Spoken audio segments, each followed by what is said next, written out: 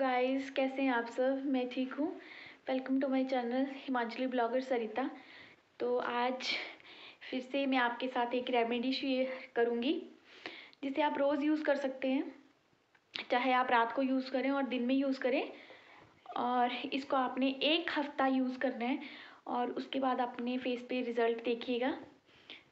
देखिए, ये मैंने लिया है दूध, और दूध में डाली है मैंने थोड़ी सी हल्दी। और अब हम इसमें डालेंगे थोड़ा सा शहद।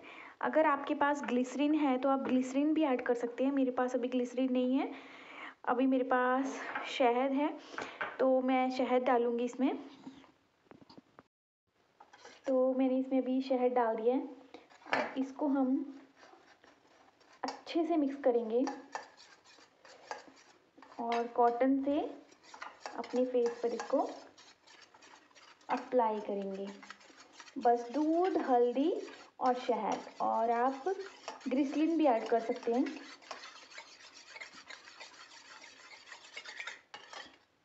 और एक हफ़्ते तक आपको इसको अपने चेहरे पर यूज़ करना है। देखिए। इससे आपका फेस ग्लो भी करेगा। जितनी भी आपके फेस पे। झुरियाँ पड़ी हैं, वो सब ख़त्म करेगा। तो अभी हम इसको अपने फेस पर अप्लाई करेंगे।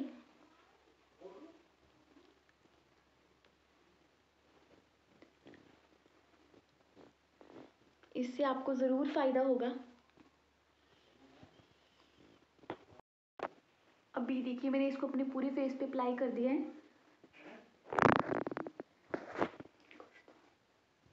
इसको अच्छी तरह अप्लाई करना है। अब रात को सोने से पहले भी कर सकते हैं और सुबह भी कर सकते हैं। वन वीक तक करना है आपको ऐसे।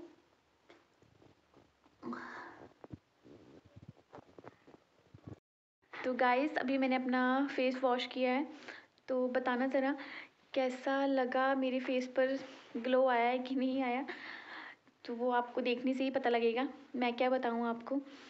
तो मैंने क्या सिर्फ़ एक दूध लिया थोड़ा सा दूध ले लीजिए। और शहद हल्दी आप एलोवेरा भी ऐड कर सकते हैं, इसमें ग्लिसरीन भी ऐड कर सकते हैं। ग्लिसरीन तो बहुत ही अच्छी होती है सर्दियों के लिए। तो आप ये सब चीज़ें यूज़ कर सकते हैं इसके साथ में। आप इसको रोज़ यूज़ कीजिए। वन वीक तक इसको आप यूज़ कीजिए, फिर रिज़ल्ट देखिएगा इसके। और कैसी लगी आज आपको मेरी रेमेडी ज़रूर बताइएगा मुझे। मैं